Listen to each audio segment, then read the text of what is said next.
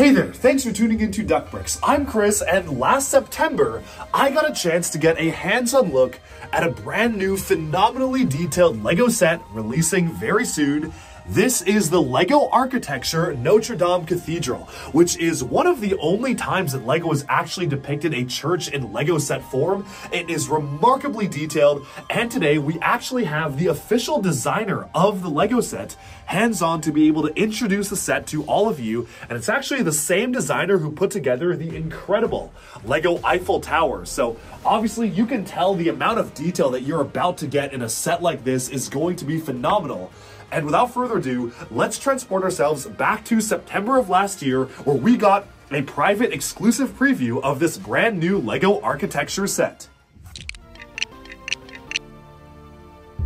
The last time I was in front of you was presenting the Eiffel Tower. I was, at that point in time, I thought that was like the pinnacle of my work with LEGO. What could I present to you guys that would be able to come close to that? right? That was at least how I felt at that time.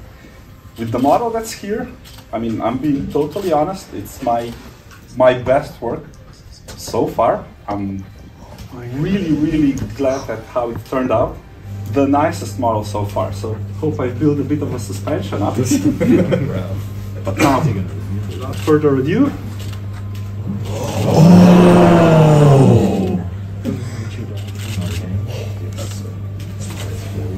So I believe this building needs no introduction. Synonymous with Paris. And at the same time, you could quite easily display it with the Eiffel Tower as well, because it's quite, it's quite close in scale. If you want to know some of the stats, it actually has 4,383 elements, remember correctly. So it's one of the most detailed models uh, that we've ever did in such scale. Why did I bring two of them along? Well, because this one it's not only about the finished display model, it's about the building experience itself. Uh, I've tried to capture how the original Notre Dame was being built.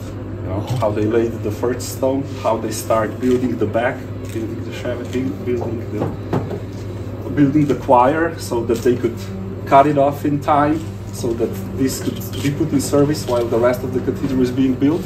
So it's not a layered Lego model. You don't build it like a cake, but you actually you're actually following the building of the original cathedral, and that's pointed out in the building instructions. Like every back represents a period in time. So you start all the way back in 1163 and then continue into the present. You know, this building is is its history, it's amazing.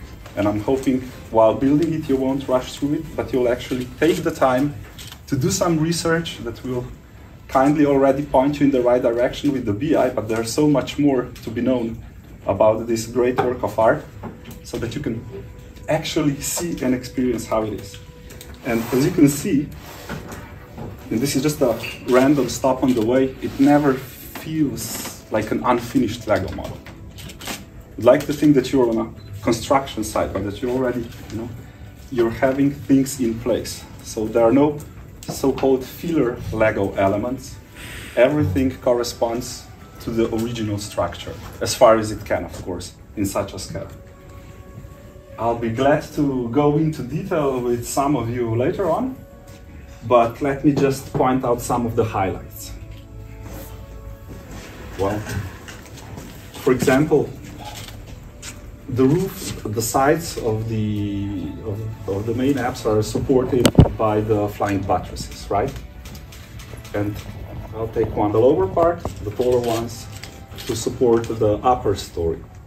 And just not like on the real one, they're also being put to use to drain the water that goes through the buttress itself and comes out of the gargoyle on the end so it spills out over to the pavement so it doesn't so it doesn't erode the foundations of the building.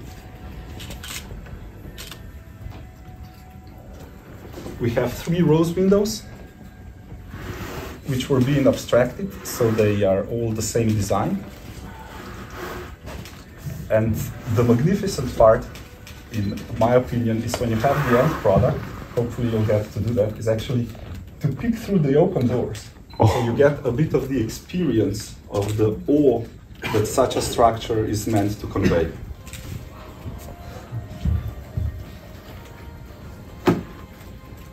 Roof is removable so that you can look inside and the supports are actually following the vaults that are in the building itself.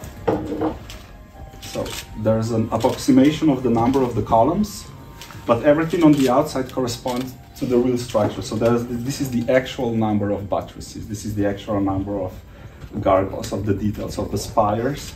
And on the inside, there's also vaulting where it's supposed to be. And from the abstraction of the wooden construction of the roof to the abstraction of the stone construction of the vaults, everything's there.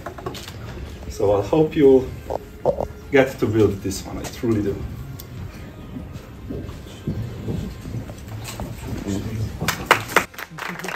Our look at set number 21061, the Notre Dame Cathedral. This will come out on June 1st and retail for around $230 to our knowledge, with again 4,383 pieces, which is a remarkable deal, although again many of those pieces are really small.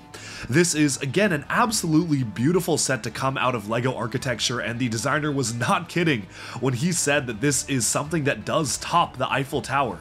While it may not top it in terms of scale, I think in terms of detail, this one actually has it beat.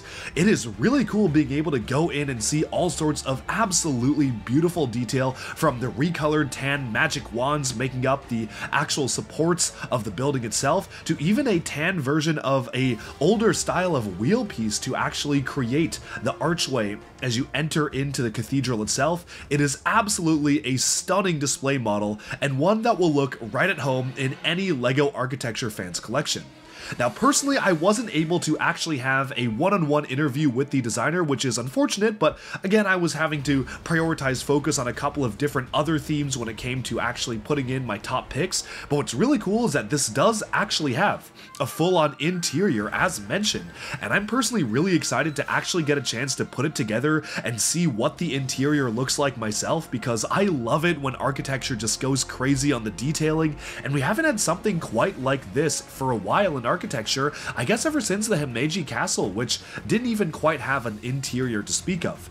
And so, this is really a phenomenal build, and I think it's quite interesting because obviously the real life building is currently under construction after it was almost destroyed by a fire. This is actually five years later. So this is actually kind of perfect timing given that it's planned to reopen on December 8th of this year. If this comes out this summer, it will be right in time for the cathedral to reopen.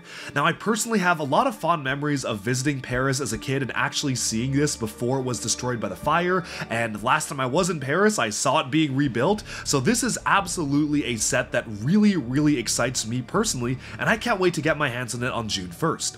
Now, one other interesting thing I do want to note about this particular set is that typically LEGO doesn't release religion-focused sets. Obviously, it's been years since they've done a church. Ever since LEGO's early days, they kind of have a stance against making sets focused on religion. However, given that this is an important architectural landmark, I feel like that's why LEGO made the exception here, and now I'm kind of wondering, does that open the door for more religious monuments to be made out of LEGO bricks? Who knows? and I guess we'll have to see. But all in all, religion aside, this is an absolutely beautiful set, and I can't wait to add it to my fully complete LEGO Architecture collection. Alright, and with that, we have summed up our look at the brand new LEGO Architecture Notre Dame Cathedral. Let me know down in the comments below, what do you think of this set? Do you like it? Do you dislike it? Are you excited to get it when it comes out? And I hope you enjoyed our early look at a brand new LEGO set Thanks so much for watching. Be sure to like and subscribe for even more LEGO news, reviews, discussion, and analyses coming your way very soon, and bye for now.